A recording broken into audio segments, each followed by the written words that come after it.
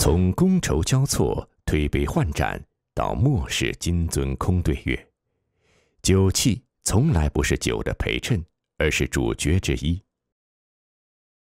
也许我们此刻无法品鉴三千年前美酒的滋味，但却可以感知古人彼时推杯换盏的触觉。在陕西宝鸡的青铜器博物院，我们可以看到许多造型各异的酒具和酒器，它们都有着独特的名字和不同的功能。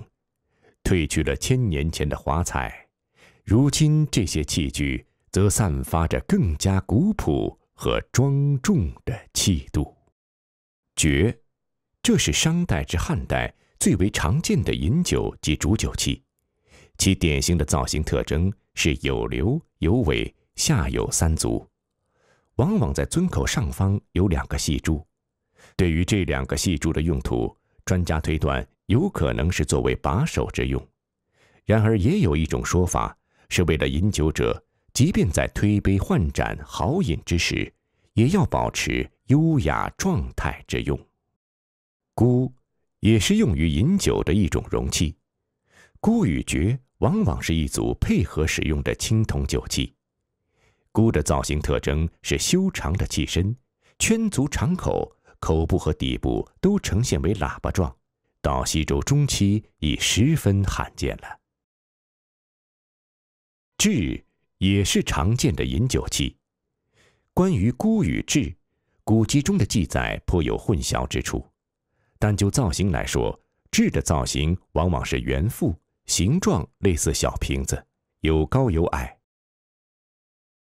雷，这是商代至春秋都很盛行的盛酒器，形态随时间迁移，逐渐由瘦高转为矮粗，繁缛的图案渐渐减少，变得素雅，看起来就像我们现在的酒坛子。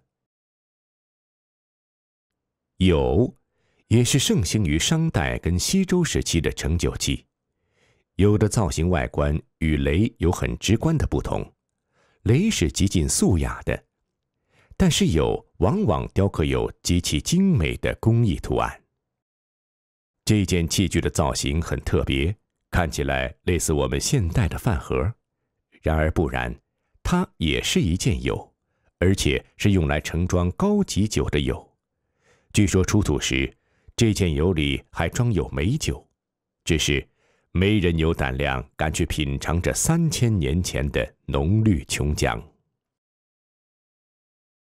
西周统治者很忌惮前朝商代国君因为酗酒导致国家灭亡的说法，因此颁布了禁酒令，导致这一时期青铜酒器的种类和数量都出现了大幅下降，甚至许多酒器此后都绝迹了。然而，在另一方面，西周朝廷把青铜酒器的使用纳入到礼制范畴，赋予了它们新的政治内涵。象尊在周代礼仪中占有一定的位置。这件鸟纹象尊是西周中期的酒器。周人以凤鸟为祥瑞，西周后期，凤鸟虽成青铜器主题纹饰。这件西周鱼形尊，鱼身肥大中空。鱼口微张，鱼背鳍处有方形的开口，以鱼的背鳍作为酒器方盖的把手，足见古人之匠心独具。这件在宝鸡出土的墨尊还有另一番意义。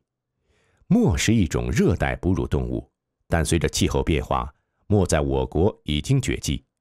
这件出土的墨尊证明，三千多年前宝鸡一带确实有热带动物生存过。